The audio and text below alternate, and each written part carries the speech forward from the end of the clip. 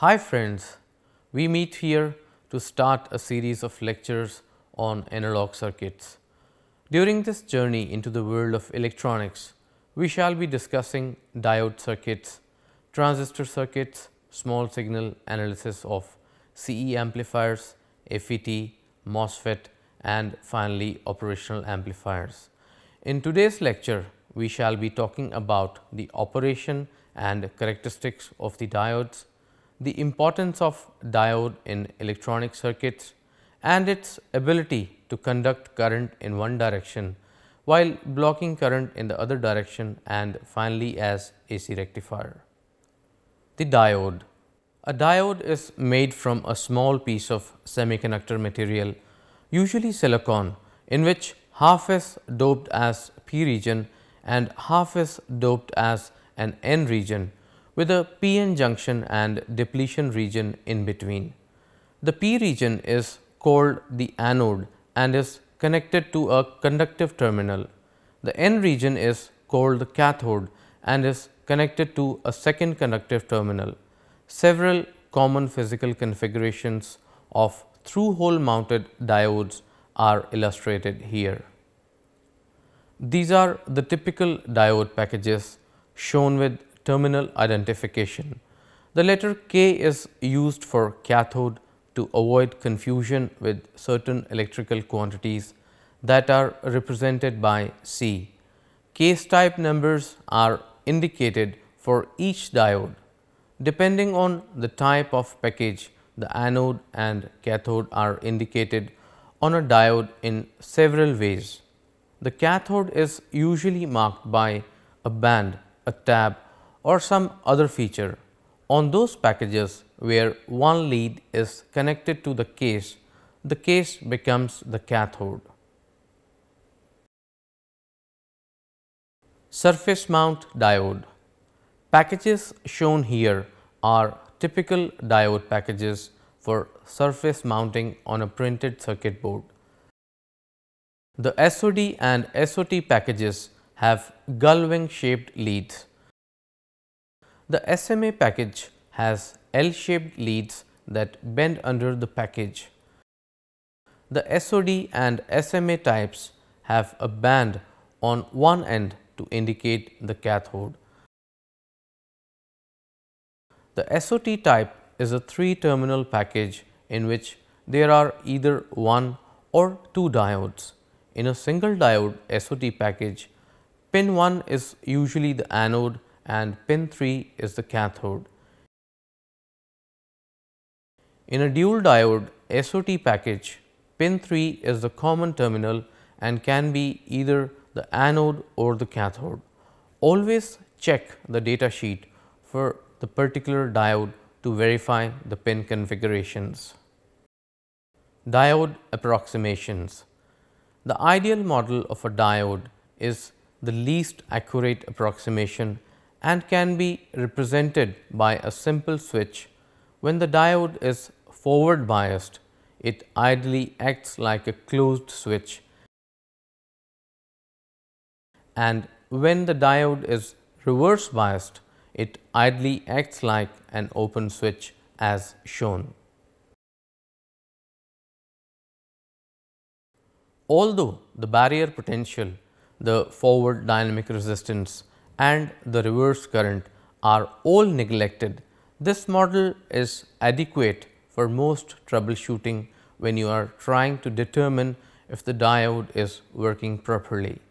The ideal VI characteristic curve graphically depicts the ideal diode operation. Since the barrier potential and the forward dynamic resistance are neglected, the diode is assumed to have a 0 voltage across it when forward biased as indicated by the portion of the curve on the positive vertical axis.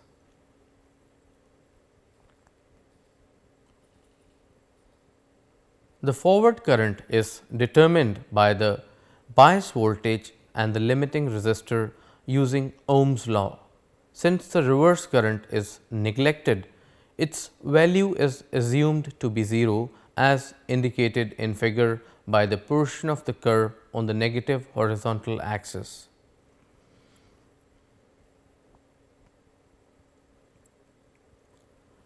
The reverse voltage equals the bias voltage. You may want to use the ideal model when you are troubleshooting or trying to figure out the operation of a circuit and are not concerned with more exact values of voltage or current. The practical diode model includes the barrier potential. When the diode is forward biased, it is equivalent to a closed switch in series with a small equivalent voltage source equal to the barrier potential that is 0.7 volt with the positive side towards the anode as indicated. This equivalent voltage source represents the barrier potential that must be exceeded by the bias voltage before the diode will conduct and is not an active source of voltage. When conducting, a voltage drop of 0.7 volt appears across the diode. When the diode is reverse biased, it is equivalent to an open switch just as in the ideal model as shown. The barrier potential does not affect reverse bias, so it is not a factor.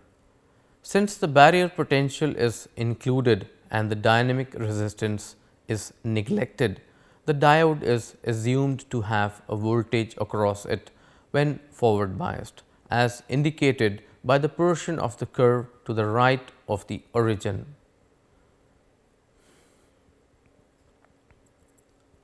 The forward current is determined applying Kirchhoff's voltage law. The practical model is useful when you are troubleshooting in lower voltage circuits. In these cases, the 0.7 volt drop across a diode may be significant and should be taken into account. The practical model is also useful when you are designing basic diode circuits. The complete diode model. The complete model of a diode is the most accurate approximation and includes the barrier potential, the small forward dynamic resistance and the large internal reverse resistance. The reverse resistance is taken into account because it provides a path for the reverse current which is included in this diode model. When the diode is forward biased, it acts as a closed switch in series with the equivalent barrier potential voltage and the small forward dynamic resistance as indicated in the figure.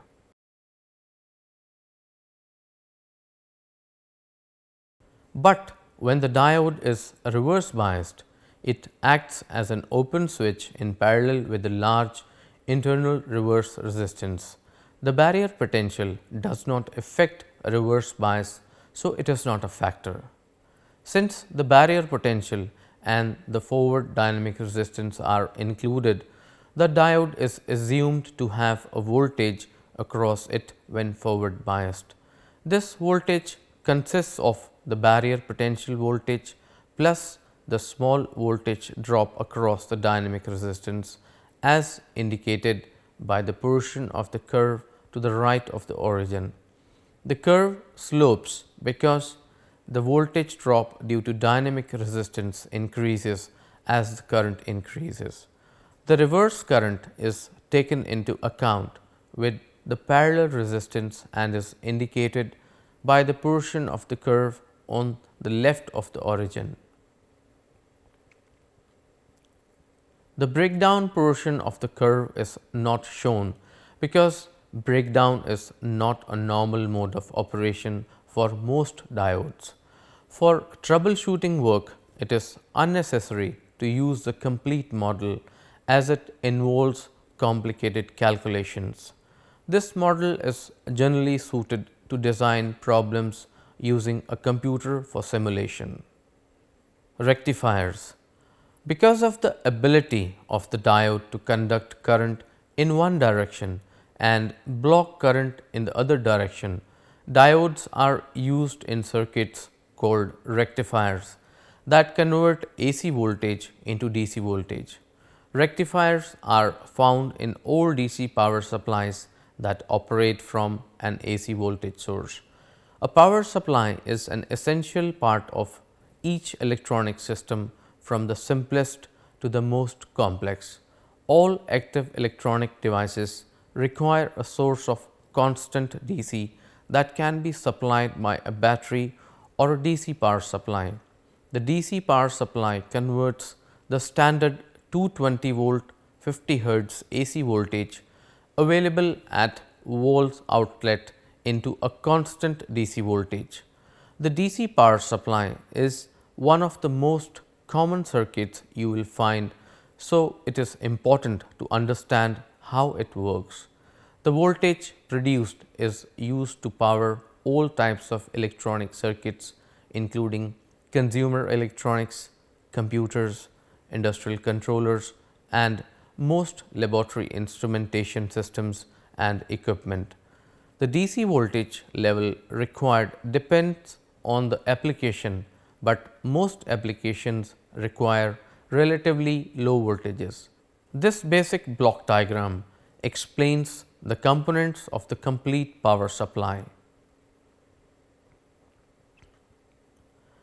It consists of a transformer, a rectifier section, a filter and a regulator. Generally, the AC input line voltage is stepped down to a lower AC voltage with a transformer. A transformer changes AC voltages based on the turns ratio between the primary and secondary. If the secondary has more turns than the primary, the output voltage across the secondary will be higher and the current will be smaller. If the secondary has fewer turns than the primary, the output voltage across the secondary will be lower and the current will be higher. The rectifier can be either a half wave rectifier or a full wave rectifier. As shown here, the rectifier converts the AC input voltage to a pulsating DC voltage called a half wave rectified voltage. The filter eliminates the fluctuations in the rectified voltage and produces a relatively smooth DC voltage. The regulator is a circuit that maintains a constant DC voltage for variations in the input line voltage or in the load. Regulators vary from a single semiconductor device to a more complex integrated circuits. The load is a circuit or device connected to the output of the power supply and operates from the power supply voltage and current. Half wave rectifier operation. The figure here illustrates the process called half wave rectification. A diode is connected to an AC source and to a load resistor RL forming a half wave rectifier. Keep in mind that all ground symbols represent the same point electrically. Let us examine what happens during one cycle of the input voltage using the ideal model for the diode.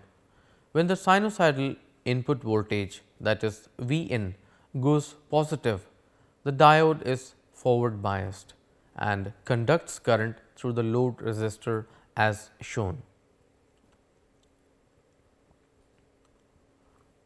The current produces an output voltage across the load R L which has the same shape as the positive half cycle of the input voltage. When the input voltage goes negative during the second half of its cycle, the diode is reverse biased. In such a situation, there is no current, so the voltage across the load is 0 volt as shown here.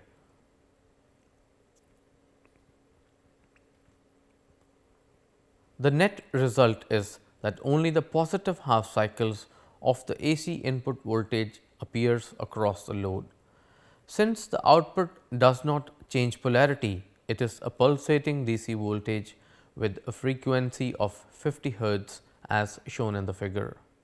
During the positive alternation of the 50 hertz input voltage, the output voltage looks like the positive half of the input voltage. The current path is through ground back to the source. During the negative alternation of input voltage, the current is 0. So, the output voltage is also 0.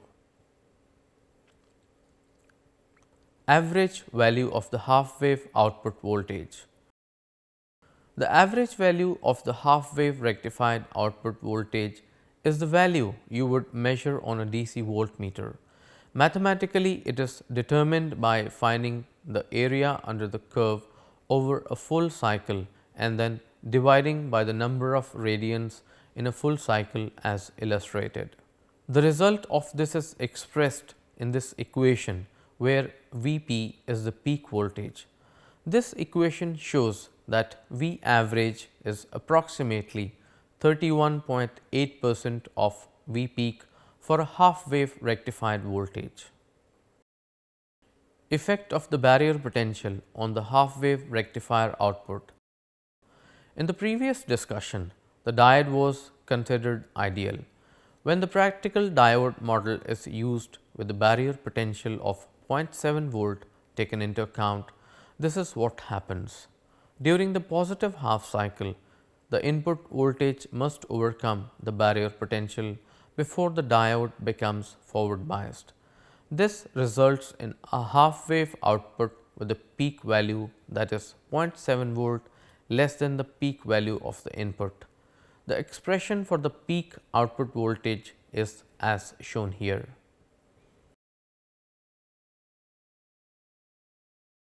It is usually acceptable to use the ideal diode model which neglects the effect of the barrier potential when the peak value of the applied voltage is much greater than the barrier potential which is at least 10 volts as a rule of thumb. However, we will use the practical model of a diode taking the 0.7 volt barrier potential into account unless stated otherwise. One must also be careful of peak inverse voltage as the diode must be capable of withstanding this repetitive reverse voltage. For the diode as shown, the maximum value of reverse voltage designated as peak inverse voltage occurs at the peak of each negative alternation of the input voltage when the diode is reverse biased. A diode should be rated at least 20 percent higher than the peak inverse voltage. Transformer coupling A transformer is often used to couple the AC input voltage from the source to the rectifier. Transformer coupling provides two advantages. First, it allows the source voltage to be stepped down as needed. Second, the AC source is electrically isolated from the rectifier, thus preventing a shock hazard in the secondary circuit. The amount by which the voltage is stepped down is determined by the turns ratio of the transformer. Unfortunately, the definition of turns ratio for transformers is not consistent between various sources and disciplines. But in this discussion, we use the definition given by IEEE for electronic power transformers which is the number of turns in the secondary divided by the number of turns in the primary. Thus, a transformer with a turns ratio less than 1 is a step down type and one with a turns ratio greater than 1 is a step up type. To show the turns ratio on a schematic, it is common practice to show the numerical ratio directly above the windings. The secondary voltage of a transformer equals n times the primary voltage where n is the number of turns as shown in this equation. If n is greater than 1, the secondary voltage is greater than the primary voltage. If n is less than 1, the secondary voltage is less than the primary voltage. If n is equal to 1, then V secondary is equal to V primary. The peak secondary voltage V peak secondary in a transformer coupled half wave rectifier is the same as V primary in as shown in equation. So, folks, this brings us to the end of our discussion in today's lecture. and therefore, we sum up. The discussion covers the operation and characteristics of the diode, diode models representing different levels of approximation are presented and testing is discussed. The ability of the diode to conduct current in one direction while blocking current in the other direction is essential to the operation of many types of circuits. One circuit in particular is the AC rectifier, but in this lecture we have talked only about half wave rectifier and we shall continue our discussion on diodes and other related circuits in the next lectures. So, that is it for today. See you in the next lecture. Thank you very much.